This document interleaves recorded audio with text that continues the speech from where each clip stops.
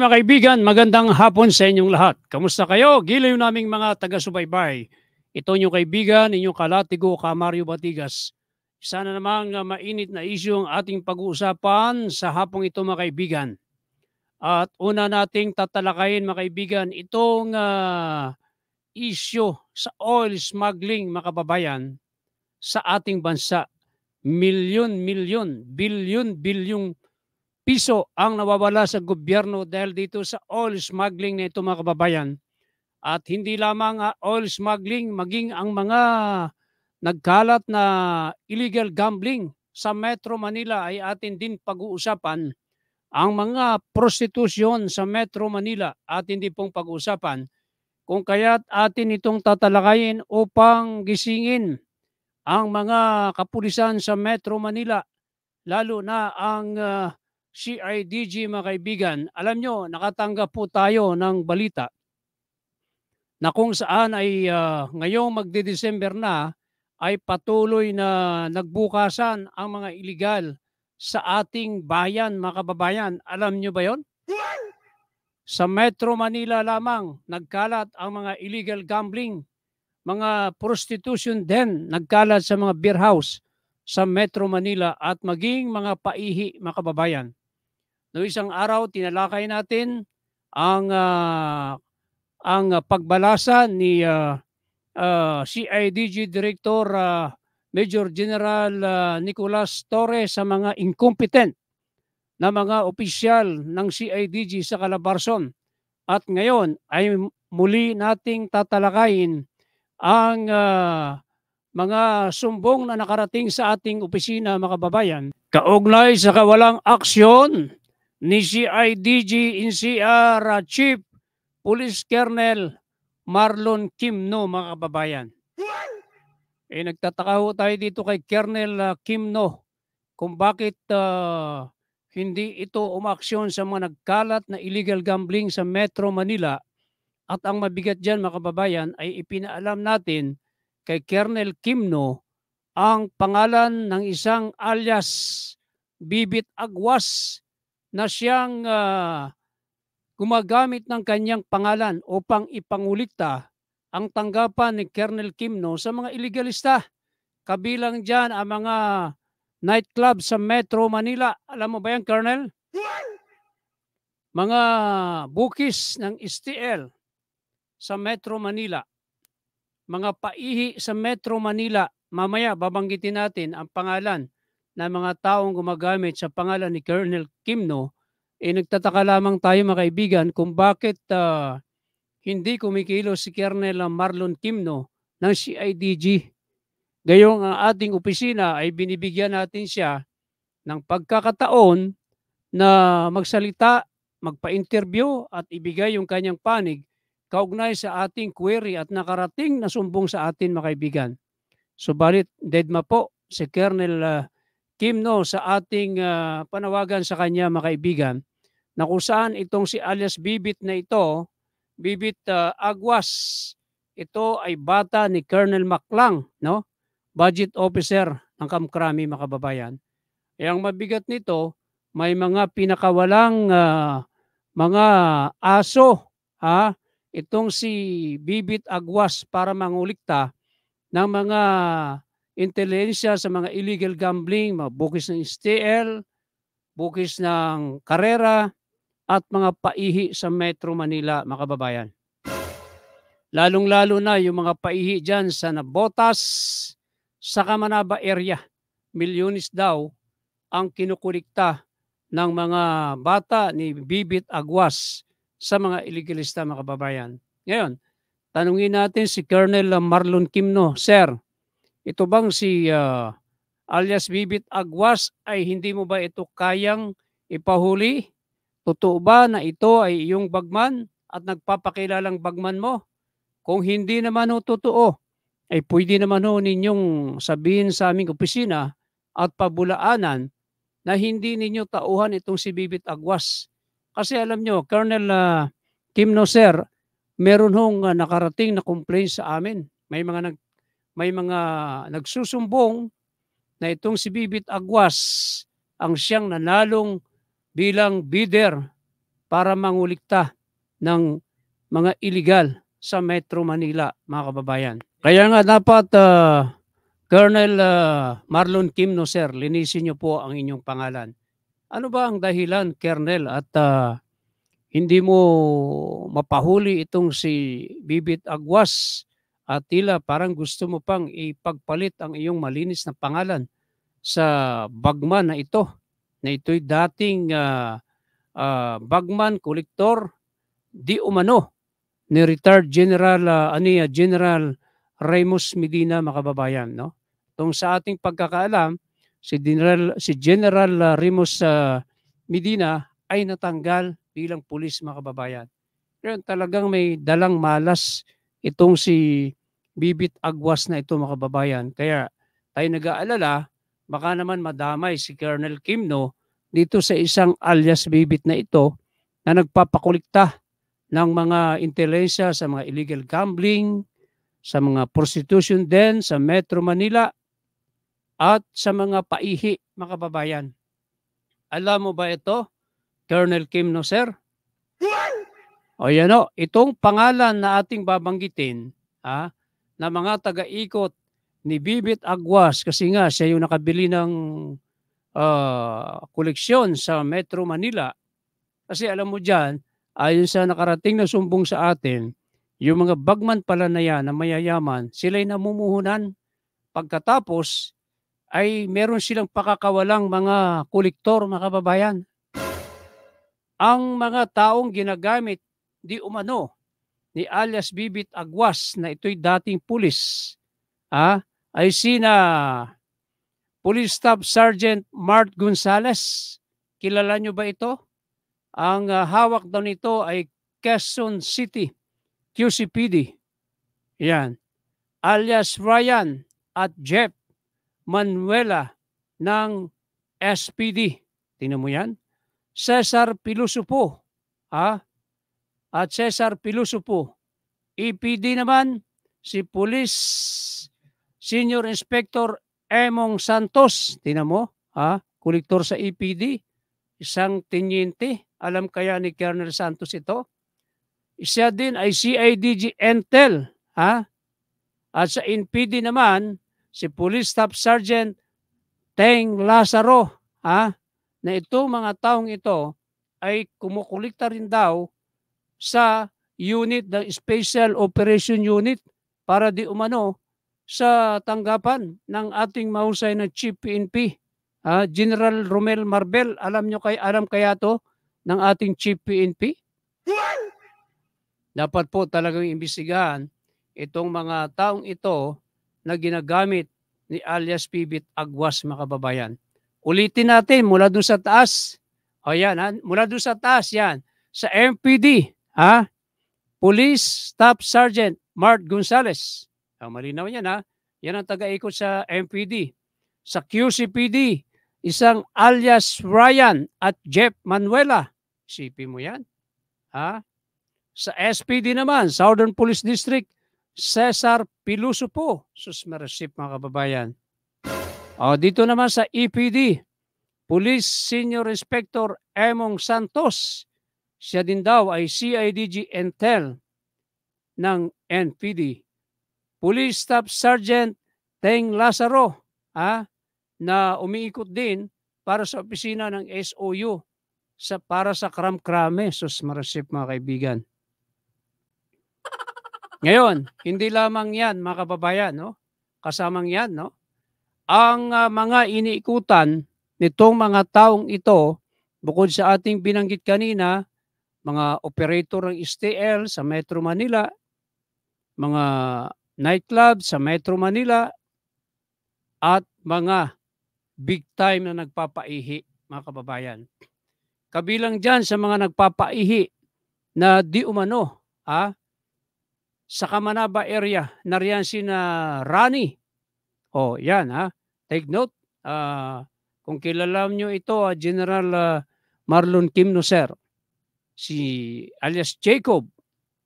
Nariyan din si alias Palawan. Nariyan din si alias Motor. No? Parang uh, itong si alias Butura, sikat na sikat ito eh. Si alias Alan Butor, no? Isang X5, Baby Marcelo. Oh, yung Baby Marcelo, ang alam natin, yan ay dating pulis. Ha? Yang mga tao na yan, ay yan ang mga operator ng paihi sa Metro Manila, especially sa Kamanaba.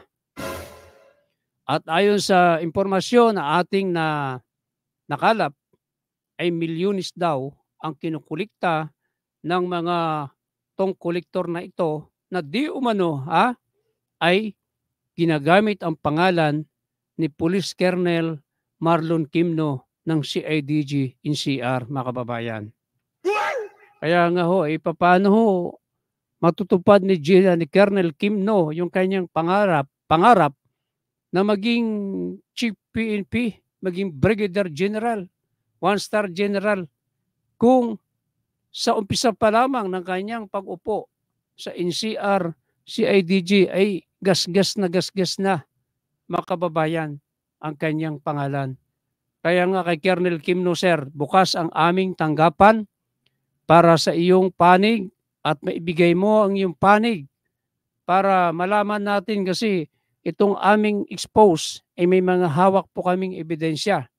Ang mga nagsusumbong dito ay mga operator mismo at mga uh, iba ring mga pulis marahil yung mga nagsusumbong na ito kung kaya't nakukuha natin ang mga impormasyon na yan.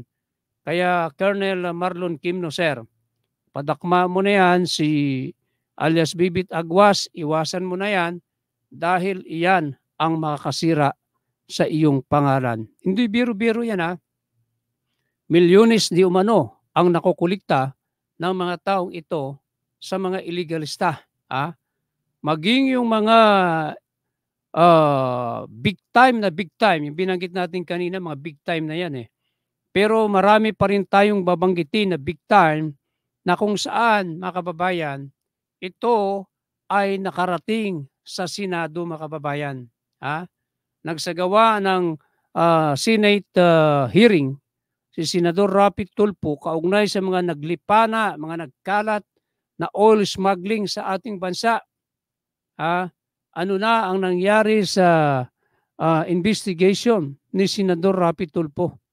Bakit walang nangyari, wala man lang nakulong at hindi man lang tayo binalitaan ni Senador Rapi Tulfo na yung mga kanyang ginawang investigasyon sa Senado in aid of legislation ay nagkaroon ng resulta.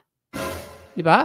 Eh basta na lamang nang sagawa ng investigation sa Senado in aid of legislation, ipinatawag ang mga opisyal ng Bureau of Custom Ipinatawag ang mga opisyal ng Department of Energy pero walang nangyari dito sa investigasyon ni Senador Rapi Tulfo. Pero yung mga taong kanyang pinangalanan na mga big time oil smuggler sa bansa ay hindi man unihan ni ho, wala man lang tayong nabalitaan na kinasuhan ng gobyerno ang mga taong ito. Ha? At itong mga nagpapaihi na ito na binanggit natin kanina, yan ay pasok din daw dyan ang Maritime PNP, mga kababayan. Kaya sa Maritime PNP, anong masasabi nyo rito? Magpaliwanag kayo. At maging sa Philippine Coast Guard, mga kababayan. Nagkalat ang mga uh, mga paihi, ha? paihi ng diesel mula Bataan, uh, na botas, Manila Bay. Mamaya-maya may papakita natin ang uh, pero bago para tayo doon sa pangalawang babanggitin natin dito sa issue uh, sa investigasyon ni Senador Rapid Tulpo, ito panuorin muna natin ang balita kaugnay sa mga paihi ha, ng diesel na nahuli ng mga otoridad sa Nabotas at maging sa Manila Bay. Bago natin puntahan ang mga pangalan naman na inexpose ni Senador Rapi Tulfo. Panoorin natin ang unang balita. Uh, nahuli ano, ng uh, PCG itong mga suspect na nagnakaw ng diesel. Magandang tanghali aga kasalukuyang nagpapatrolya sa water vicinity ng uh, Navotas Fishport ang mga miyembro ng Philippine Coast Guard nang mapansin nila ang isang barko na nagsasali ng diesel sa tatlong bangka. Agad sinita at uh, ininspeksyon ang mga o ng mga miyembro ng PCG ang barko at uh, nakumpirma na pagnanakaw ng diesel ang pakay ng mga ito. Labing walong uh, tripulante ang nahuli sang nasangkot sa insidente mula sa Maraming MV sabotage yan. pa Mirola at uh, labing uh, tatlo mula sa mga bangka ng uh, Palawan Fire Rates 2022, Palawan Fire Rates 2023 at Palawan uh, Patrick. Ah, tinatayang nasa 20,000 hanggang 30,000 na litro ng diesel ang naisalin ng mga tripulante ng barko sa tatlong bangka. Sa investigasyon ng mga otoridad, walang naipakitang kaukulang dokumento ang mga sospek. Nakumpirma rin ng PCG na sangkot din sa pagnanakaw ng diesel ang tatlong bangka sa Bataan, Batangas at Maynila. Dinala ng uh, Coast, o sa Coast Guard Substation na botas ang barko at mga bangka at mga sospek at sasampahan ng mga ito ng kaukulang uh, kaso. Diyan muna ang latest O mula mga kaibigan, no? napanood naman ninyo na yan ay nangyari dyan sa Manila Bay at Nabotas.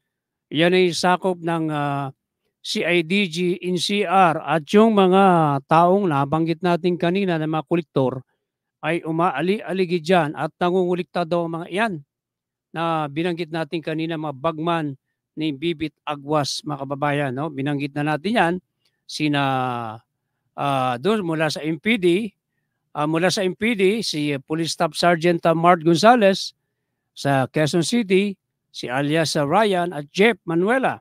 Sa SPD, nandiyan si Cesar Pilusupo. Sa EPD, si Police Inspector Emong Santos, si ADG Intel. At sa NPD, si Police Staff Sergeant Teng Lazaro. Ah, na yan din daw ay ginagamit ang pangalan ng opisina ng SUU ng ah, Camp Crami, mga kababayan. So, yan yung ah, sinasabi natin na di umano ay milyones ang natatanggap na ah, koleksyon itong mga taong ito sa mga paihi sa Malabon, Nabotas, Valenzuela at maging dyan sa Roas Boulevard. No? Yan matagal na yung modus operandi pero bakit hindi nahuhuli? Kasi meron nagbibigay ng protection na kababayan. Kaya dito, inahamon natin si Police Colonel ah, Marlon Kimno na ipatakma niya yung mga taong ito na gumagamit ng kanyang pangalan. Ha? Sa Metro Manila, na mga nagpapai, nariyan sila Rani, ulitin natin, si Jacob, si alias Palawan, si alias Motor, si X5, Baby Marcelo, na dating pulis itong ah, loko na ito. Ah, yan yung mga nagpapaihi. Ngayon, ito pa, panoorin natin ang pangalawang balita kaugnay sa paihi. Birayan, natuklasan na ba ng PCG kung saan partikular dadalhin ang karga nitong krudo? June sa ngayon ay yan ang mahigpit nilang uh, sinisiyasat at iniimbestigahan ng Philippine Coast Guard kung saan dadalhin ng ah, mga ah, nahuli na uh, motor vessel na ito yung kanilang drums dalang diesel gasolina, at no? gasolina. Pero ayon doon sa aming ah, nakapanayam kanina na isang crew nung nahuling uh, sasakyan pandagat na yan ay ah, binibenta daw nila ito doon sa mga mangingisda dito sa mga nakapalibot sa Manila Bay, June. Nahuli ng Philippine Coast Guard sa Manila Bay ang dalawang ng motorboat na ito na MV Palawan. Pinaghihinala ang sangkot ang mga ito sa oil smuggling o pahihi system dahil sa kani kahinahinalang aksyon gaya ng pag-ooperate sa madaling araw, pagpatay ng ilaw at GPS o Global Positioning System para umano huwag mabisto. Unang nahuli ang mas malaking sasakyang pandagat pasado alas dos ng madaling araw kanina. Wow, yeah. Kaninang umaga habang ah, on patrol itong si ah, BRP Boracay. Itong BRP Commodore Boracay dito sa. Manila Bay na regular naman nilang ginagawa ay ah, naka-encounter sila ng isang suspicious vessel. Ah, walang ilaw, walang AIS, ah, pero umaandar. So, nagduda na kagad sila at ah, hmm. sinundan at nag-board sila. And ah, totoo nga, at ito'y ah, ang hinala nila na baka nag-smuggle ng oil. May lunan itong pitong crew at 6,000 litro ng diesel ngunit Dami walang mga yan. papeles. Sunod na hinaranga ang kasama nitong mas maliit na motorboat na may lamang limang crew at ah, 2,000 o 2,000 litro ng gasolina. Itong isa naman ay ah, habang nagpapatrol yung isang malit na sasakyan natin na pandagat ay na-encounter din nila sa hindi kalayuan. At ah, ganun din ang ano ang palatandaan, wala ding ah, ilaw tapos muntik pa nilang mabangga kasi madilim nga eh. At uh, syempre nagsuspecha na rin sila na baka ito ay involved din sa oil smuggling. Sa investigasyon ng PCG galing sa Nabotas at nag-ooperate sa Bataan diba? ang mga naharangan na sea vessel. Ayon naman sa isang crew ng barko na nagpakilalang si alias Boy galing sa Bataan ang karga nilang diesel at ah, isinasalin nila ito sa gitna ng dagat. Ayon kay PCG spokesperson ah, Armand Balilo na tiyempuhan na ang pagpapahihi ng mga barko nang dumaan sa Manila Bay ang BRP Boracay na papunta ah, papunta sana sa Bataan para mag-augment sa operasyon sa lumubog na motor tanker Jason Bradley. Ayan, mga kababayan, dinig naman ninyo, ano? Talagang talamak na talaga ang paihi na yan. Yan ay malinaw na economic sabotage, pero nagtataka tayo bakit walang nakakasuhan at walang nakukulong, mga kababayan. Ah, ano ba ang dahilan? Eh, marahil, yan eh, dahil sa mga tiwaling mga otoridad na nagbibigay ng proteksyon. Napakarami po niyan, no? Kaya sana kay Colonel ah, Marlon Kimno ng CIDG NCR, Sir, abay, ipahuli mo ito si alias sa Bibit Agwas para hindi masira ang maganda mong pangalan, ah, Sir. At yung mga taong ginagamit niya, eh, ipahuli mo ito. At bukas ang aming tanggapan para sa iyong pagpapaliwanag. Sabi mo, nakarating din siyang sumbong sa atin, ultimo mga sakla, sugal na sakla, ay iniikutan din ng mga taong ito na ating nabanggit at humihingi ng intelensya. O, ipakita natin ang sugalan sakla dyan sa Kamanaba area. Pagkaano? Live tayo, mga satellite tayo. I-replay natin pagkaano. Channel 1 to.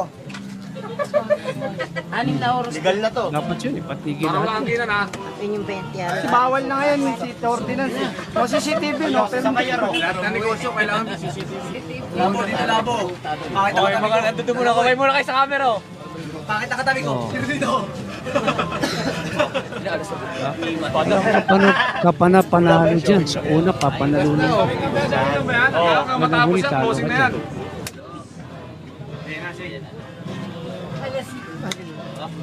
Malas ha. O, yung operator doon dyan, ha, isang alias Bukbok. Ha? Dapat tingnan nyo yan. General uh, Rizalito uh, Gapas ng NPD.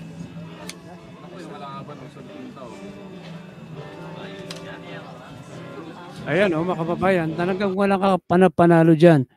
Kaya nga kay Colonel uh, Marlon Kimno, sir, ang uh, pakiusap ng aming himpilan ng Latigo News TV Philippines at Latigo Newspaper ay gumawa ka ng aksyon at ah, ipahuli mo ang mga taong ito para naman eh maniwala ang taong bayan na hindi mo kinukonsinti mga taong ito na gumagamit ng pangalan mo para ipangulikta ka sa mga illegal gambling at mga illegal katulad ng paihi, sakla, iba pa, color game, mga sa nightclubs, ah, napakarami niyan.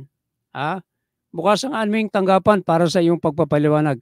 At dumako tayo doon sa sinasabi natin kanina, eh, nagtataka tayo dito sa kay Senador Rapi Tulfo na matindi po yung kanyang ginawang expose sa kanyang ah, hearing sa Senado ah, in aid of legislation dahil nga talamak ang ah, ah, oil smuggling sa ating bansa. Pero bakit tila walang nangyari sa investigasyon ni Senador Rapi Tulfo na malaking buwis sana ang makukuha ng ating gobyerno kung ito mga oil smuggler na ito ay nagbabayad ng tamang buwis makababayan.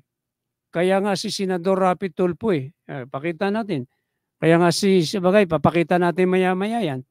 Kaya nga si Senador Rapi Tulfo ay ah, nagsagawa ng hearing sa Senado para mahubaran ng maskara ang mga taong ito na sangkot sa oil smuggling mga kababayan na bilyon-bilyong piso ang nawawalang ah, buwis sa ating gobyerno. O pangalanan na natin ang big time ng ah, nabotas na si Don Rabonsa ng ah, nabotas mga kababayan no?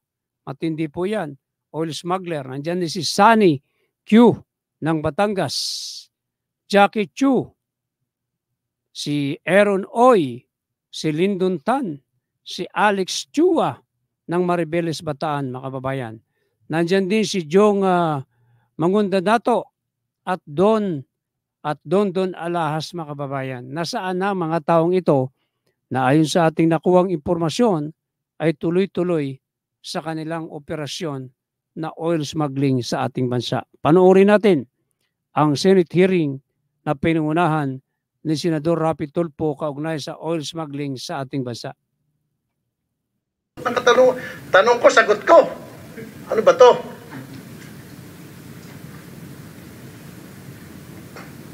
Sorry ha, kung ganun rin lang. Bakit ho pa kayo nakapwesto sa gobyerno? Sayang po ipinapasweldo sa inyo ng ating gobyerno ng mga simpleng katanungan in behalf of taong bayan, I'm here because I was elected by the people to ask questions like this. It is my job. Oh, mat ni mo I was voted for this. Hindi mo na pinalo up eh. I represent the people of the Philippines. Bureau of Customs. Kilala mo si Don Rabonsa ng Navotas? Oh. Yan na. No, sir. Smuggler yan ng oil. Kasama na yung pag-smuggle niya ng asukal galing Hong Kong. May asukal pa. Batangas and Sariaya. Kilala mo si Sunny Q.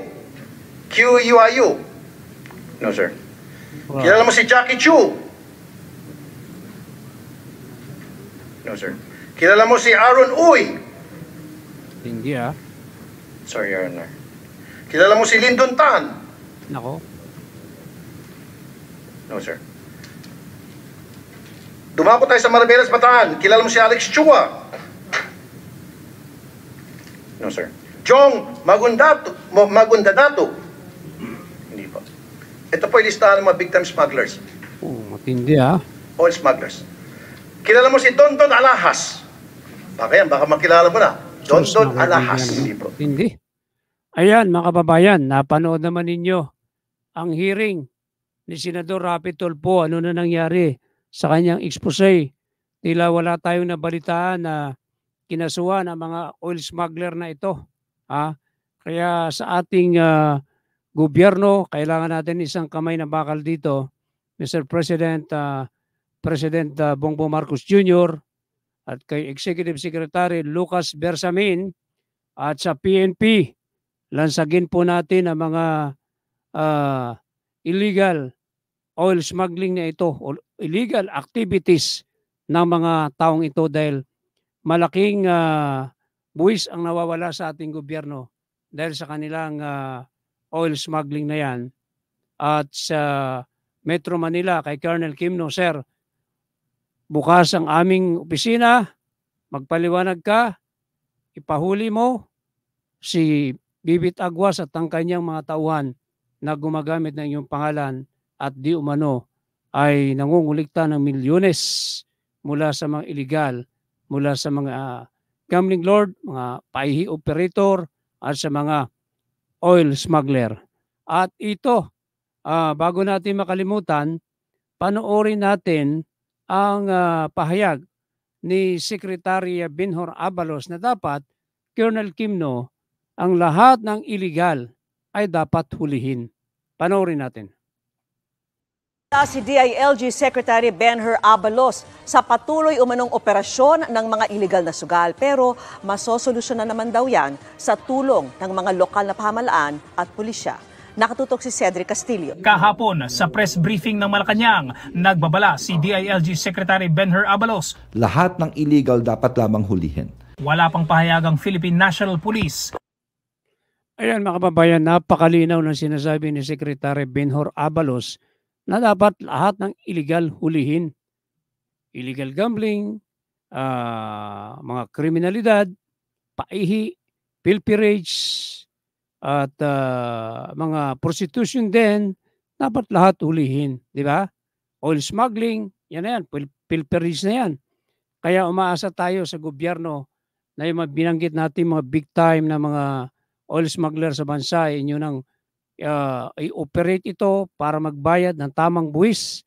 Don Rabonsa ng Nabotas, Sunny Q ng Batangas, Jackie Chu, Aaron Oy, Lyndon Tan, Alex Chua ng Maribeles Bataan, Jung Mangudadato at Dundon Alas mga kababayan.